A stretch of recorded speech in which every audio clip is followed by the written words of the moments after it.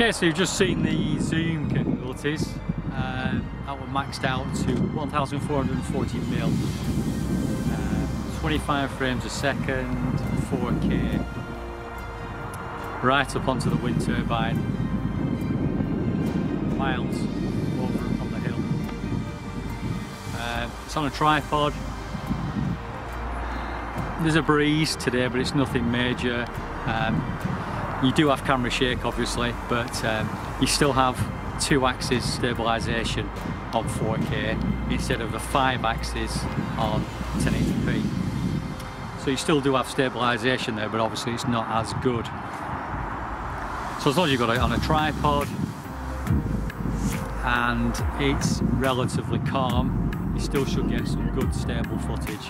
So very impressed with that zoom, really, really good very good quality.